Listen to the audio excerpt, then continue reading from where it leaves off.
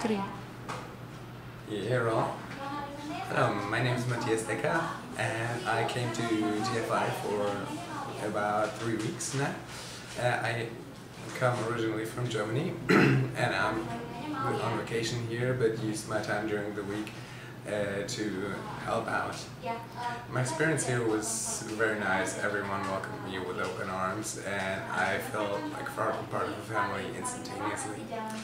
Um, TFI has many different spots where to teach and the kids range from about 4 to 13 which um, I'm sorry uh, was a great way to learn uh, how different everything is.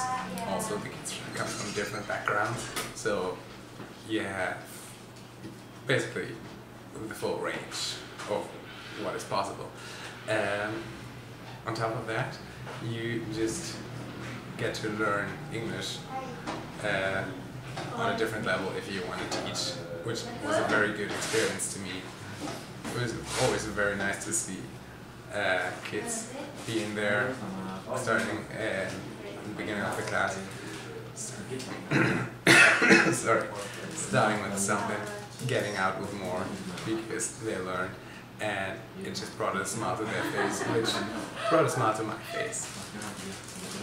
Overall, I would love to come back to TFI time uh, because it's just an overall great experience. There's nothing you can wish more for.